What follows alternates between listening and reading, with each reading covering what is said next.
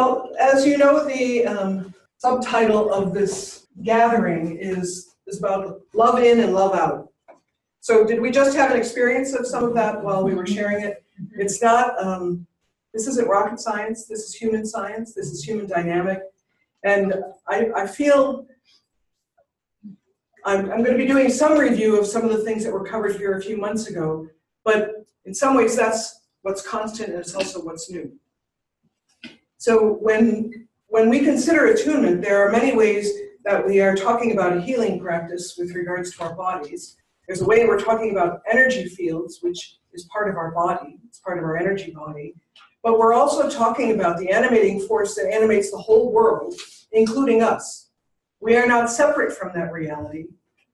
Even when we no longer are um, alive, the substance of our body is still participating in the, the decaying process and the energy of what's happening for the planet. I had um, I had this occasion. I run this program in Colorado called Full Self Emergence, and one of the things we do is we do body-centered practices and one of them is attunement. Another one is called the Form, which was created by um, a gentleman named B. He lives in New Zealand, but it's a little bit more of a moving kind of uh, body-centered practice. We do dances. We would use our bodies to um, connect with the physical as well as the spiritual. We have the conscious choice to do this.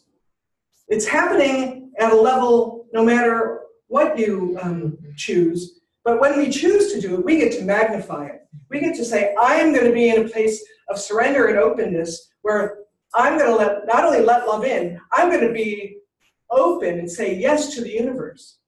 I don't know how many of you know Barbara Marx Hubbard, but she's a revolutionary woman who's been, she ran for vice president of the United States in 1984. First woman to ever do that. It was when Geraldine Ferraro actually ran. I mean, she she was nominated for vice president. She ended up she didn't really want to run. She just wanted to speak to the whole Democratic Party. Mm-hmm. And she got in there and she did it. And um, currently, she's living at Sunrise Ranch. She's 88 years old, and she has been all over the world doing all kinds of programs. And she is a phenomenal being. I don't know how many books she's written. She has all kinds of podcasts, and she's still doing this on a daily basis. Mm. And last Sunday, she spoke in our service at Sunrise, and she just spoke about I'm still saying yes to the possibility of being a universal vehicle, used as a universal, she used the word priest, and that word might not be something you would say, but I want to be available to be fully open to love coming in. And when you say yes, everything changes because you now are saying yes, and the universe is saying, I've been waiting, I've been waiting. And so here it comes, and it will change. And her point is when you say yes, your cells have been waiting too. Your cells are ready to say yes. And they are waiting for you to say yes because they've been actively doing what they do anyway. So I'm going to just go through some of this because of the time. In attunement, we speak about this spiritual activation, which is also about the one law, how life works. We have radiation, the radiant expression of life. It's happening from the invisible, but it's also happening from us as a person radiation. Then there's response to that radiation. We, uh, we get to, this is response to that radiation. When you say yes, that's response. Then there's attraction because there's all this energy that's happening because you, you are now feeling that attractive current that has been animating you anyway, but now it's happening in an attractive way. You find that you have union with it. It's actually you anyway, but it's you at various levels, and then together you have unified radiation. So in this um, time together where we're this whole weekend we're talking about love in love out and also what's new and what's constant we're going to look at how this is true with our world. Many people who do attunement think about this only with regards to source. It's like oh the invisible you know? I'm going to open up to the invisible the invisible i'm going to respond to it and have some attraction with it and union with that. But how are we doing with the people in our life? How are we doing with the garden? I mean, there is radiation, our radiation into the soil of, of the earth and the response of the plants. I just walked out there and was totally impressed by carrots popping up where they weren't even planted. How does that mm. happen except by response of the soil and the seed to what's happening by the human beings being there? And then the unified radiation, you might even think of that as the union is when you eat the carrot. The unified radiation is when you get to live because the carrot's now becoming part of you. Isn't that a miracle that you eat a carrot and it becomes you? Yeah. I mean, really, whatever we eat these stuff and it changes into the cells of Jane. Not if you're not Jane, they say, they do become cells of you. It's like, to me, I've been a doctor a long time and it's still like, that is phenomenal reality. When I studied obstetrics in school, one of the things we learned about um, in delivering babies, the cells in the uterus actually become different kinds of cells. So a woman can deliver the baby and then they go back to their original form. Yeah. Ooh, how does that happen? Mhm. other than life has a way of doing what it needs to do. And it's beyond what, um, what we might have thought of as a good idea. Like, nobody would have thought it was a good idea for a cell to become something else and then go back. I mean, that, that's like just too hard work, but it works. So in, in this um, experience of being spiritually activated and knowing love in, love out, and what's currently changing and what's current, always constant, is there is the surrender to, to the radiant energy that is you.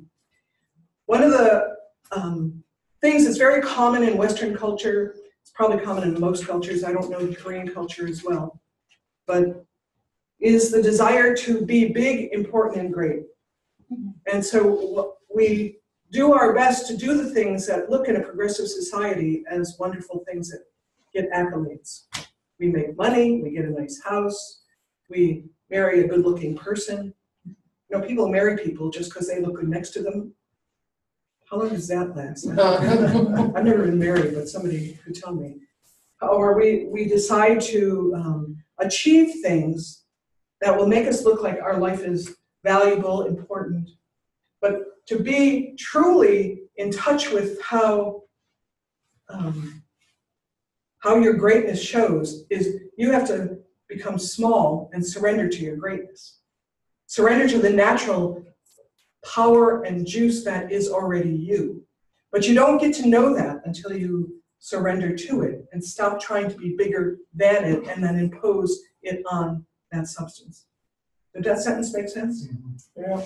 People try to impose their human desires on the substance that has been given to them, which is their own life current and then say, how come it's not working for me? One of the students in the program I currently teach came up to me the other day. I, I give every student a coach, every student an attunement server, and then I am the, the overall director. We have several teachers in the course.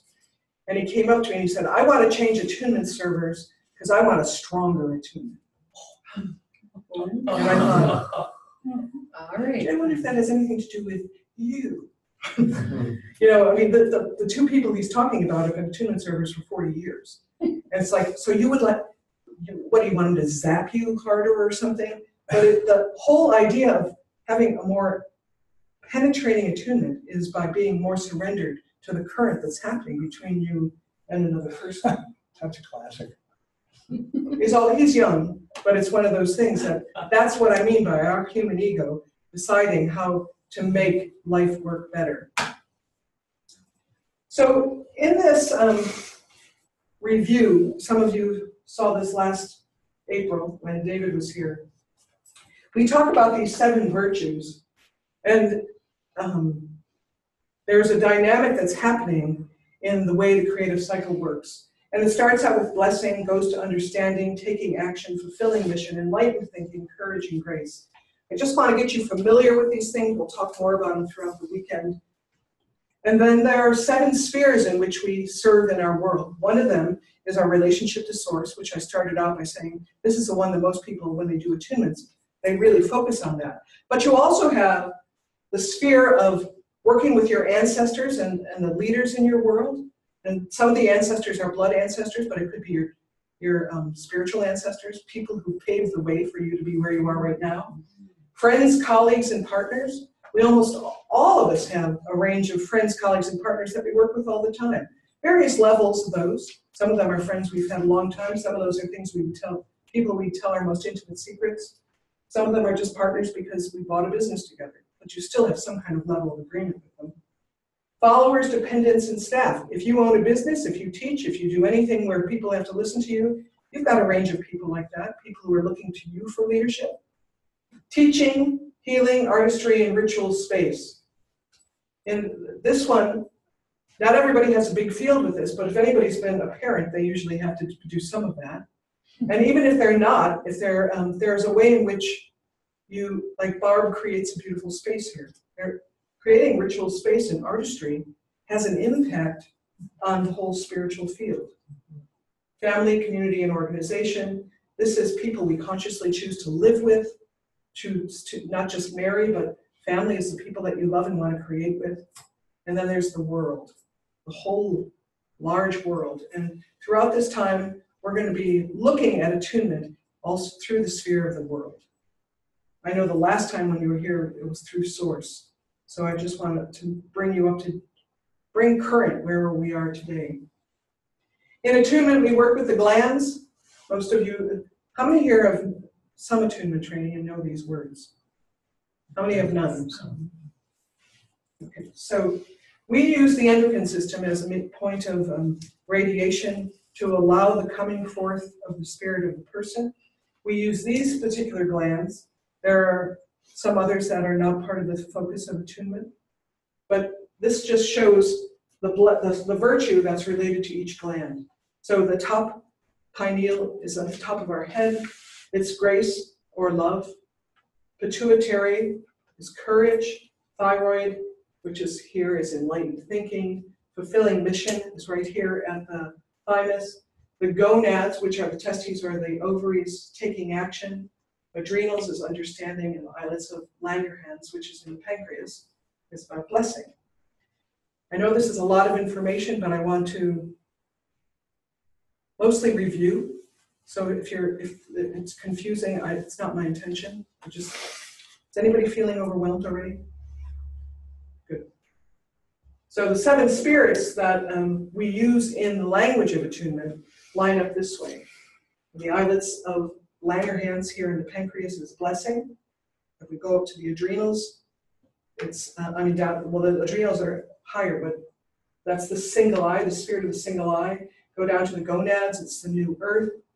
Thyroid, thymus is purification, thyroid is life, pituitary is the womb, and love is the spirit of the pineal. So the reason I'm, I want you to see all these is because we use these attunement cards that David has created, seven spheres, seven spirits, 49 cards. And that's what he has created. And I mean, I helped with some of them, but he did most of them himself. So that we look at what's it like to have the experience of purification with regards to your ancestors. What's it like to have the spirit of blessing to your family and community or the world? So, this gives you the range of the spirits and the spheres. And we get to know, when we first started creating these, Hugh and I were there, we were looking at what does it really mean to have these things go both ways? Like, how do you give love to your ancestors and how do you receive love from your ancestors?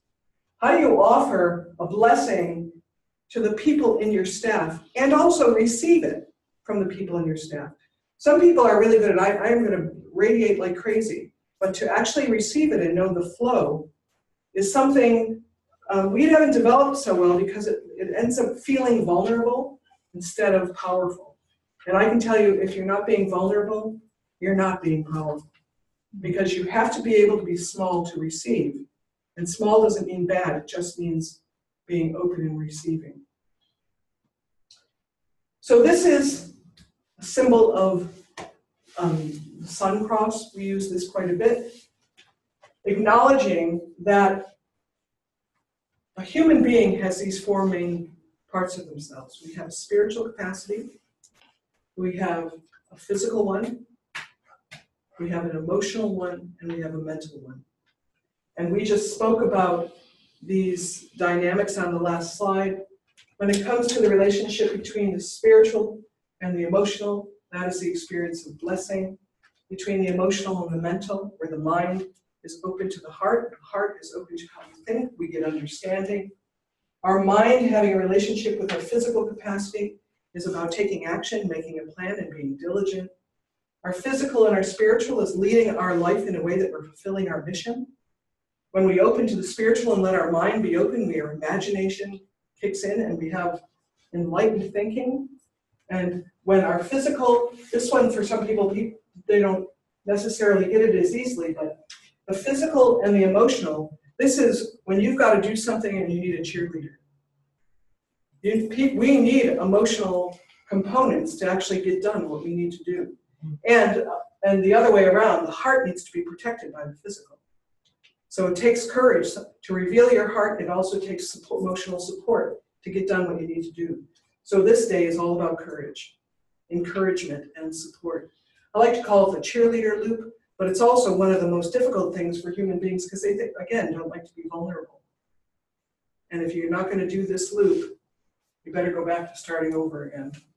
And the final one is actually this one again, but it is where who you are as a spiritual being is doing it all together, and that's all about grace. Because grace is where you, you understand how this all works, and you're doing it consciously. You're not just learning it, you're doing it, and you're showing it and inviting people to do it with you.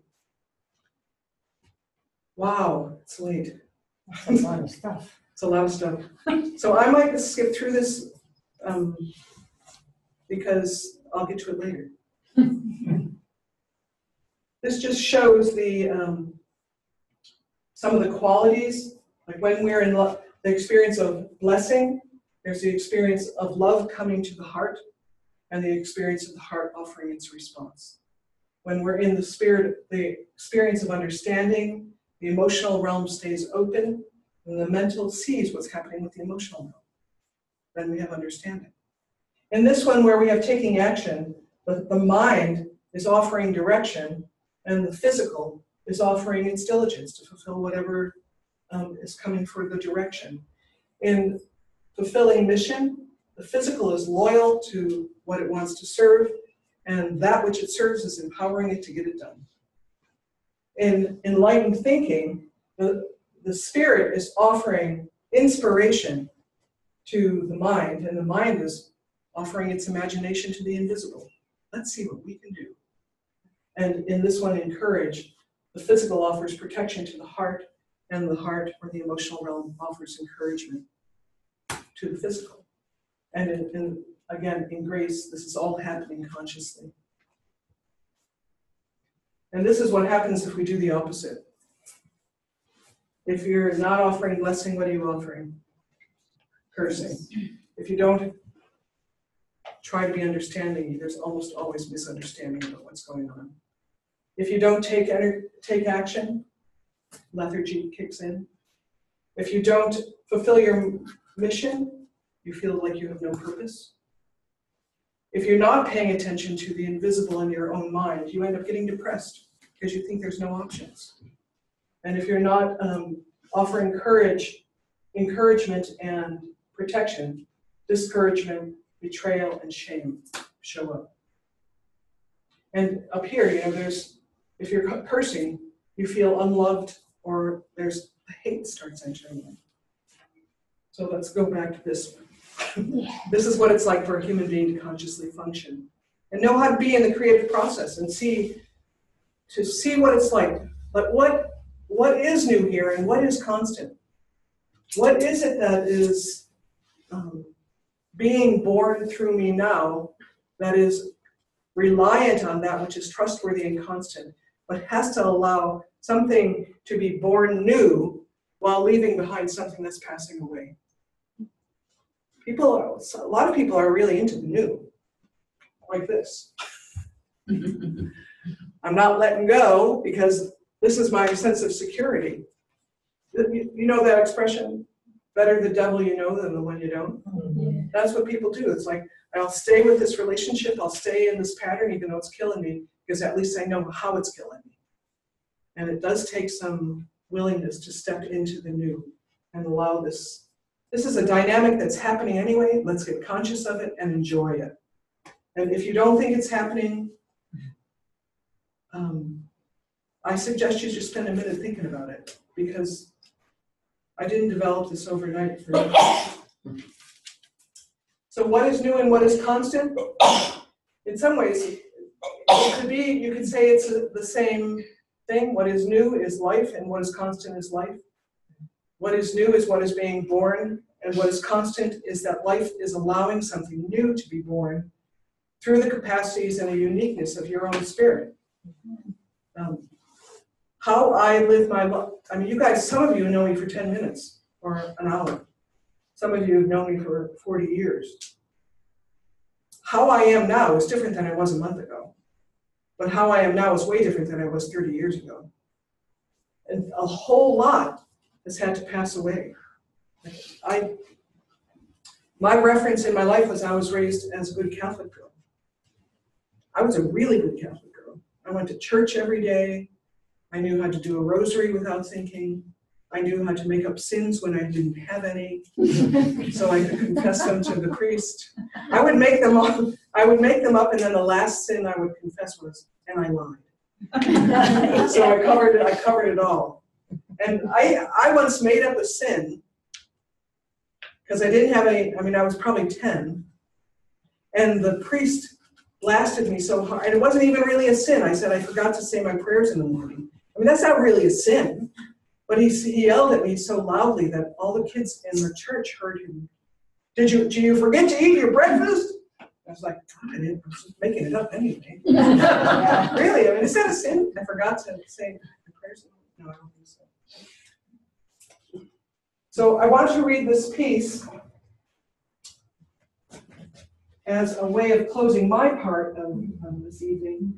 This was a piece written by um, Reverend Safia Rose. She's from California. I don't know if any of you know Diego, who she's, she's a good friend of Diego's who lives at Sunrise Ranch. I think she was part of the church of Michael Beckwith's in, in California, the um, Agape Church. I don't know if she was a friend there, a minister there, but this is these are some words she wrote, and this has to do with the experience of um, surrender. So I'm going to read this and then I will pass on the, the floor. So it's called She Let Go. She let go. Without a thought or a word, she let go. She let go of the fear. She let go of the judgments. She let go of the confluence of opinions swarming around in her head. She let go of the committee of indecision within her. She let go of all the right reasons.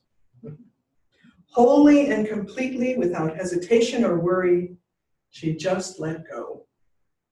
She didn't ask anyone for advice. She didn't read a book on how to let go. She didn't search the scriptures. She just let go. She let go of all the memories that held her back. She let go of all the anxiety that kept her from moving forward. She let go of the planning and all the calculations about how to do it just right. She didn't promise to let go. She didn't journal about it. She didn't write the projected date in her daytimer. She made no public announcement and put no ad in the paper. She didn't check the weather, weather report or read her daily horoscope. She just let go. She didn't analyze whether she should let go. She didn't call her friends to discuss the matter. She didn't do a five step spiritual mind treatment. She didn't call the prayer line. She didn't utter one word. She just let go.